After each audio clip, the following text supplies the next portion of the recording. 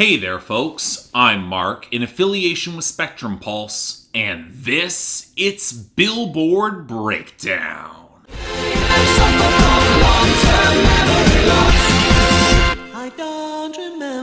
I mean, I think we can call this week close to normal. Feels like it. After our new number one that shook the boards last week, it seems like we're hitting a point where we're starting to settle in for the home stretch of this Hot 100 year, especially without any huge major releases on the horizon. Hell, granted, surprise releases they will happen, and we still haven't gotten those big Drake and Kendrick projects that folks have been hyping. But with the continued delay for touring, we might not see those albums in full for some time. You never know. Now, I say all that, even though looking at our top 10 with WAP by Cardi B and Megan Thee Stallion holding the number one thanks to continued big sales, strong streaming, huge YouTube, and somehow a radio run, we do have a new number two that seems to imply a fair bit more is coming. Laugh Now, Cry Later by Drake featuring Lil Durk. I'll have more to say about this song later on, but given its strong streaming across the board and the fact that it's already beaten WAP on its radio run, we could well have a song that very well could get to number one given its momentum right now, presuming it sticks around. Now this knocks back Rockstar by DaBaby and Roddy Ricch down number three,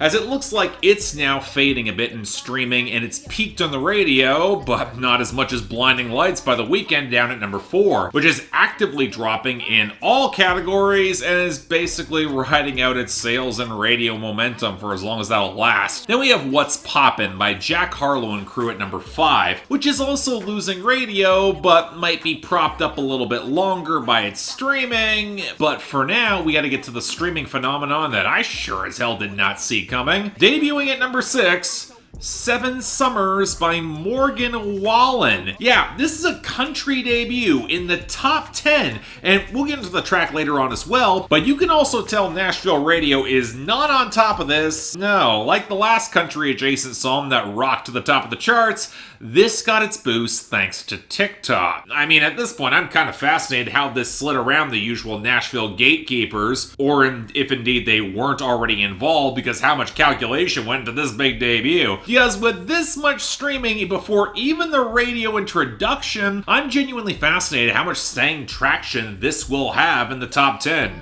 or hell, even the top 40. Hell, it knocked back Watermelon Sugar by Harry Styles down to number 7, which might be still climbing on the radio, but it's fading everywhere else. And Roses Imanbek remix by SAINt JHN down to number 8, which in contrast to its streaming stability just started bleeding in the radio this week. Then we got Savage Love by Jawsh 685 and Jason Derulo at number 9. And I gotta admit, I'm a little bit surprised this song's momentum's starting to stall out. It's still on that radio run, but the sales and the streaming, they aren't rising to catch up, which to me implies some folks might be getting more sick of this song faster than Jason Derulo or his handlers were reckoning. But finally, cracking the top 10 after hovering below it for a while, and another slice of country making penetration, although not a good song, I Hope by Gabby Barrett is at number 10. She got a big remix with Charlie Puth, which is actually credited and gives her momentum for the radio run, but the sales are not surging and the streaming lags significantly, so this song will go just about as far as the radio allows, and that might not be a lot. And given some of the information that's leaking about her, I'm kind of okay with that. It's not like the song's good either. And that transitions nicely to our losers and dropouts. First, we had two big dropouts that clinched their year-end list spots. Super Lonely by Benee and Gus Dapperton, along with Hard to Forget by Sam Hunt. There's a year-end list with that song's name on it. And then after that, Don't Rush by Young T and Bugsey featuring Headie One, and One Big Country Song by LoCash. They dropped off early, but it also looks like Be Kind by Marshmello and Halsey is gonna potentially just miss on the year-end list for 2020 as it falls out. It just underperformed which sadly might have been the story of Halsey's 2020. Now, our losers, they're mostly all over the place. Off the debut last week, the only song that fell really hard was Smile by the late Juice WRLD in the Weeknd down to 35. And on a note for Juice WRLD, Hate the Other Side with Polo G, Marshmello, and Kid Laroi also went to 93. Then Rod Wave's miniature album bomb dropped off a little bit, with Rags to Riches sliding back to 22. I'm still amazed that did as well as it did. And Girl of My Dreams at 75. And we're all we're also in album mom territory, we all saw the expected fades for Taylor Swift with The One at 67 and Exile with Bon Iver at 82, and for Pop Smoke with Something Special at 98 and Got It On Me at 85. Then we had the continued fade for My Future by Billie Eilish at 54, which is because it looks like radio completely ignored it. And then we have the cuts that are fading out a little more naturally. Say So by Doja Cat and Nicki Minaj is at 43. Done by Chris Janson's at 63. I mean, if I keep saying it's fading away, it might go away. Then we had Stuck With You by Ariana Grande and Justin Bieber crashing at 90, and Mamacita by the Black Eyed Peas, Ozuna, and J. Rey Soul at 87. I mean, the sooner this goes away, the better. Now, our gains this week do feel a little strange, specifically our returns, both from Polo G, with Martin and Gina back at 83 and 21 back at 99. This might be a synergistic element across of YouTube, as 21 has had a video for a while, but Martin and Gina finally got it. I mean, I like the song, I hope it's a single that does well, maybe this is the spark that'll get it there? But what's more promising are our two gains. Okay, really just one game, as I call Mama by Tim McGraw got its bounce to 78 on Nashville radio support and the fact the album dropped. No, no, no. What I'm excited for is a huge pickup from the debut last week of Mood by 24kGoldn and Ian Dior at 26. I mean, putting aside how much I like the song, kind of hits for me in the same way I know Blueberry Faygo hits for a lot of friends of mine. Right now, minus the radio push, it's set up to be a big hit. Good start on streaming, it's got TikTok traction, it even picked up some sales. And, well, it's been pointed out to me it's got a similar cadence and bounce to Martin and Gina. Still a bounce I really like. I'm happy they both could potentially become hits. But alright, on that note, let's come down considerably to talk about our new arrivals, and we gotta start with number 100, Lonely If You Are by Chase Rice. Yeah, I'm lonely if you are, if you are, if you are. Alright, look, we don't need to keep doing this. Just because Chase Rice is releasing music doesn't mean we have to dignify it. And someone should tell Broken Bow that he's not the bankable star that's worth any sort of attention if you're not giving cash to push a Jason Aldean single, especially if you're relying on songs that require eight months to gain that sort of traction. This is off an EP that dropped in late January, and let's be honest, did anyone care that EP came out? Seriously? Because not only are we dealing with another flagrant Kane Brown ripoff, instead of just relying on the flat, questionably blended delivery of Chase Rice with the fake hand claps, that relies not just on the sentiment that if she's lonely, he'll fake being lonely too, but hey, you can text him and he will love the lonely out of you. I mean, he just feels so flatly manipulative that we can't even get into the crash my party problem, where he sounds dejected that he's gonna hook up instead of partying with his friends, because he's not good at conveying sentimentality, which has been a persistent issue in his entire career thus far. But hey, once again, Chase Rice is living up to his name. He's chasing the trends. I mean, I'm just happy to leave him behind. Next, number 92, Caramelo by Ozuna.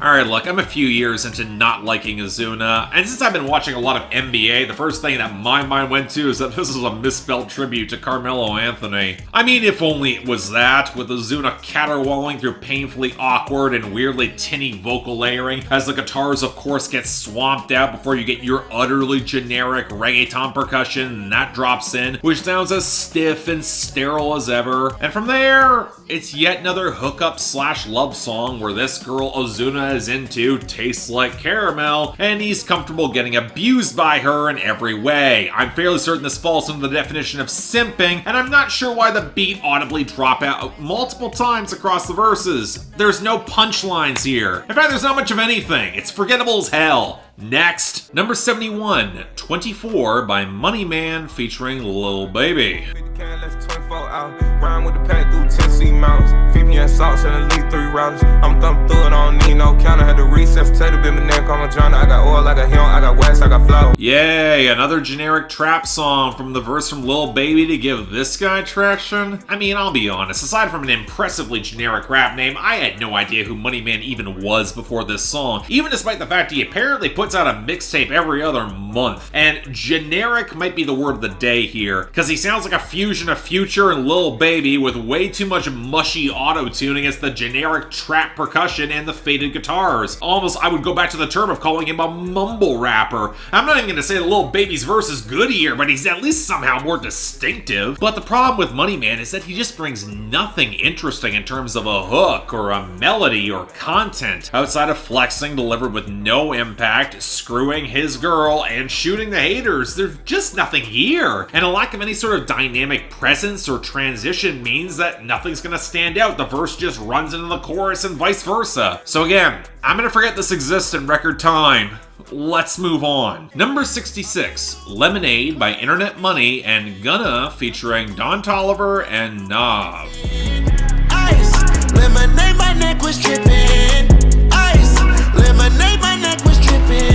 Well, there's a whole lot of names attached to this song that I have less than zero interest hearing working together. So when five of the Internet Money producers team up for this, I had less than zero expectations, which might have been the best way to approach this song, given that Nav and Don Toliver are trying to split the difference and how much they can rip off Travis Scott against a lot of a washed out guitar line that frankly has nothing close to the atmosphere of Astroworld courtesy of the lumpy bass and the very clicking trap hi-hat. I mean, plus the Gunna verse that I guarantee everybody will forget the second after hearing it. I, I mean, I guess once you clue into the fact that the content's gonna be completely empty vacant, the best thing I can highlight is Don Toliver's hook. But he's also got that pseudo auto-tuned warbling that Post Malone's really pioneered that's still not nearly charming enough to click for me, so while it might have something to it, I'm not really on board with this.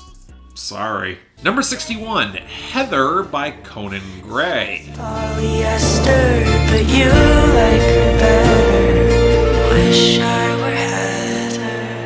I'm kind of surprised to see Conan Gray on the Hot 100. I reviewed his album Kid Krow earlier this year and I didn't really like it, so I guess I should be happy enough that this is getting pushed at the single that TikTok likes and not Affluenza. Until you hear how this might be the most shameless Billie Eilish ripoff by a guy that I've heard in a while. From the bare bones acoustics, the super hushed delivery, and especially the pre-chorus backing vocal melody, now the writing kind of reminds me more than a bit of Wish You Were Gay and the anxious high school yearning. There are a lot of parallels until Conan Gray decides to belt, and has to be pushed back further in the mix to disguise some of the cracks in his delivery. It's a pretty obvious tactic, producers. A lot of us are getting keen to it. I mean, I'm not saying it's bad. I don't mind the adolescent structure or how it's left kind of unclear how the person who he likes but only has eyes for Heather could be of any gender.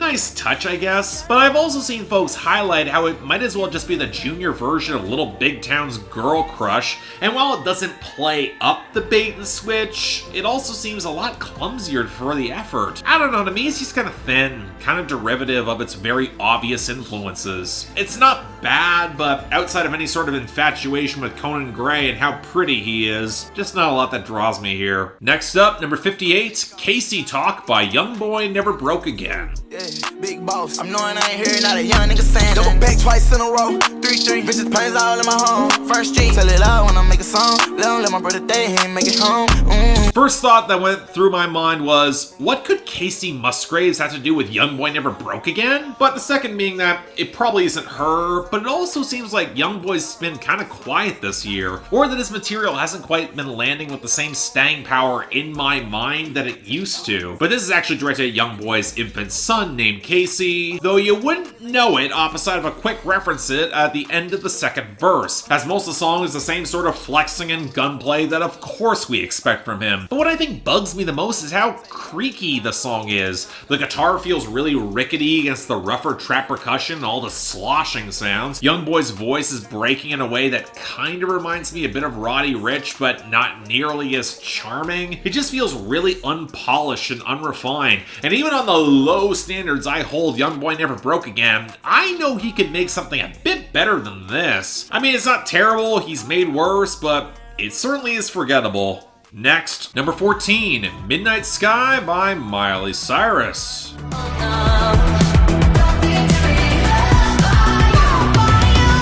Let's be blunt, there have been very few stars who have been allowed to stumble as hard as Miley Cyrus has the past decade, and the fact that she somehow cracked the top 20 again left me thinking she was probably getting another placement via birthright and existing stands, rather than any sort of unique or cohesive artistic vision, or any sort of development. But okay, is the song at least good this time? Well, it's a bit of a pivot, picking up a lot of the sharper Dua Lipa 80s inspired grooves and the thicker sense that could conceivably fit with Miley's throatier rasp, provided her vocals are placed well, which with some of the tinny mastering emphasizing her rawness, I'd argue she cannot command the mix in the same way that Dua Lipa can. And I know Miley could do that, nor does the vocals blend all that well if there's not going to be any sort of distorted punch in the instrumentation. Honestly, this is a song that's crying out for some of the rough edges you'd hear on, let's say, an early 80s Pat Benatar song, especially with a minor key melody and some of the bitter post-relationship brooding in the content.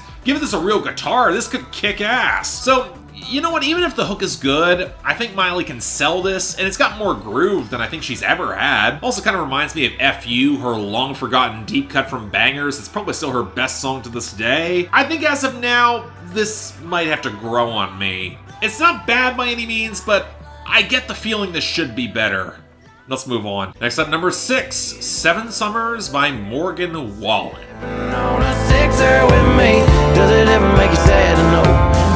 Seven summers ago? Alright, look, I've gone on the record multiple times that Morgan Wallen has frustrated me or has fallen short of what he could deliver, so with the song of his debuting in the top 10, I either expected the crossover pivot or just a really strong hit that could contend. Okay.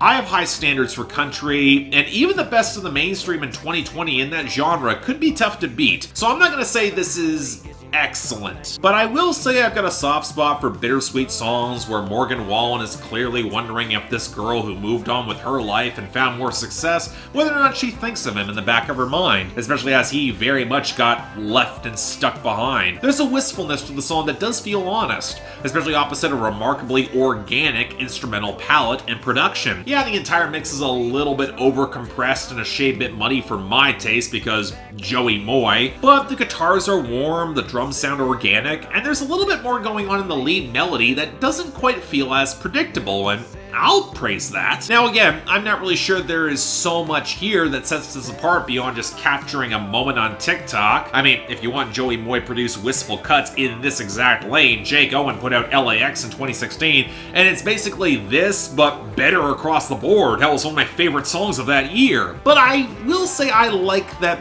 this went viral. It proves that there is an audience that will accept an organic, solid country song beyond Nashville just chasing the pop trends. And to me, that's reassuring that you can still build that organic audience. So yeah, you know what, this is not a great song, but it is a good one.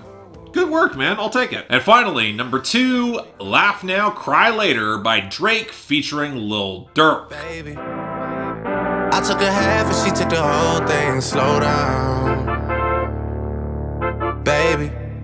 Am I the only one who thinks that Drake using this as a lead-off single for his album Certified Lover Boy is a weird choice? Maybe it's the glorified Nike commercial for the music video. Maybe it's Drake's haphazard choice of singles now. Maybe it's just how generally underwhelming the song is in both music and content, but this did not really impress me. Especially when I like Drake's hungrier, darker edges that you got in his last couple sets of singles from 2019, which you would think would be a good match for Lil Durk. Instead, the horns opposite the more developed bass line are a bit of an odd fit, an opulence undercut by the fidgety energy that Drake sing raps through with a complacency that does not interest me or enthuse me. And what irks me more is that, just like on Sicko Mode, Drake's still throwing subliminal shots targeting Pusha T in a beef that he lost over two years ago. That entire third verse, man, is still clearly on his mind that 40s girl leaked the info that Drake was hiding a child. And it doesn't seem like he's quite settled on how it all fell out, especially as his first verse, shots at Kanye West, actually kind of land really well. I like that gap line. I guess if this is your leadoff single, it feels counterproductive to still be pissy about a beef you lost, especially when Lil Durk is here and he wasn't involved to begin with. I mean, he's taking shots at 6ix9ine, but that's more of a passing target, similar to how Drake references in his certified lover boy crooning some girl. I don't know, I think Drake can make tighter and more interesting and impactful music than this, and as such, this feels like an album cut or a late single, not something to push an album, especially given how calculated he was with the release of Scorpion and It singles, even when some of his plans were altered behind the scenes. So, I don't know, it's passable, I don't hate it, it'll probably work. I'm just not really a fan. But it also makes for a week that might be more normal, but doesn't have a lot of quality. I guess Seven Summers by Morgan Wallen will take the best, but honorable mention, uh, Midnight Sky by Miley Cyrus, if only because I can see it growing on me the most. Maybe? Now, the worst is easily Lonely If You Are by Chase Rice, with dishonorable mention, that's gonna go to Kacey Talk by YoungBoy Never Broke Again, if only because somehow it's a real disappointment, and for as creaky and underwhelming as the song was, I think he can do better. But next week, you know, unless BTS's Dynamite blows everything open, we could be settling into a bit of a rhythm, so stay tuned. Until then, I'm Mark, you're watching Billboard Breakdown, affiliated with Spectrum Pulse, and I'll see you next time.